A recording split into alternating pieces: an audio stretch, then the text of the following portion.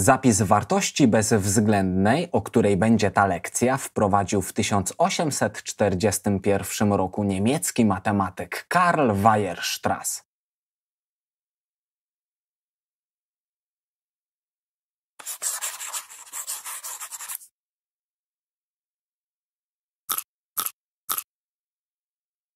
Widzisz oś liczbową, na której zaznaczono 0, kilka liczb ujemnych oraz kilka liczb dodatnich. Wyobraź sobie teraz, że w zerze stawiamy płot. Wyobraź sobie jeszcze, że w jedynce i w minus jedynce rośnie takie samo drzewo.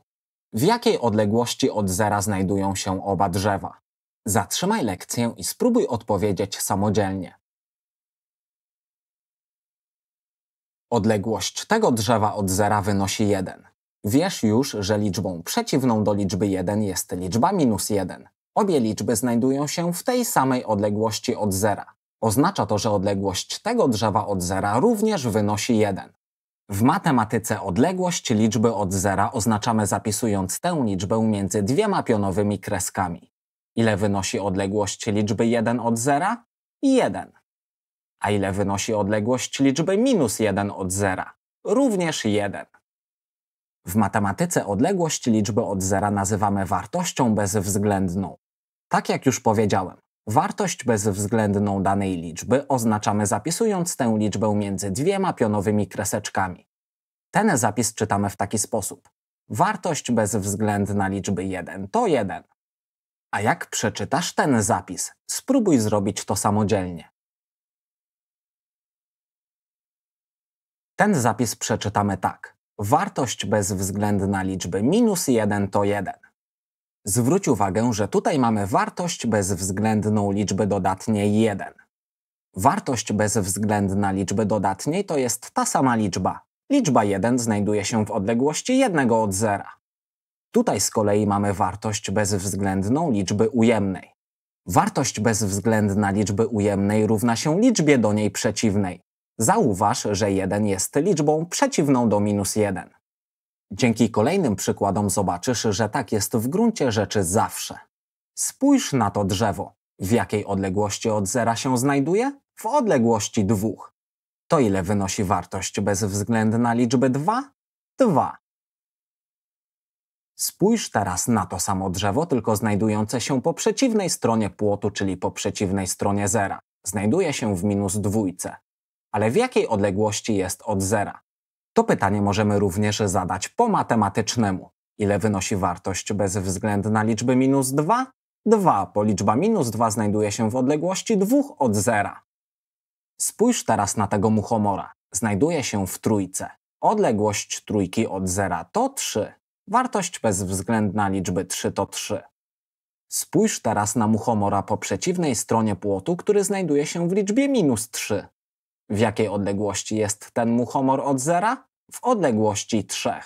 Wartość bezwzględna liczby minus 3 to 3. Teraz już nie masz chyba żadnych wątpliwości, że wartość bezwzględna liczby dodatniej to jest ta sama liczba.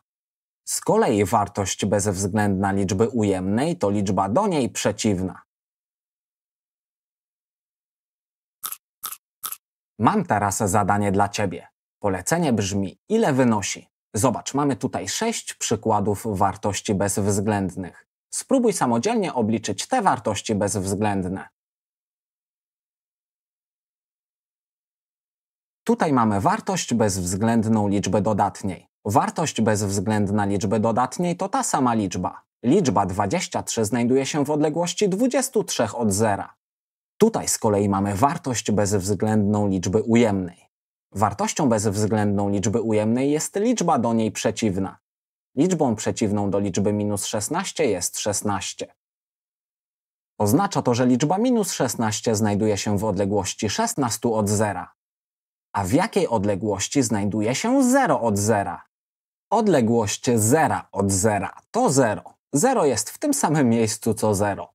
A ile wynosi wartość bezwzględna liczby minus 245?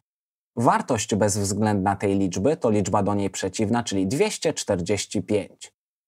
Wartością bezwzględną liczby minus 1368 jest liczba 1368. Wartością bezwzględną liczby 543 jest ta sama liczba, bo mamy wartość bezwzględną liczby dodatniej. Wykonaliśmy nasze zadanie. Gratulacje!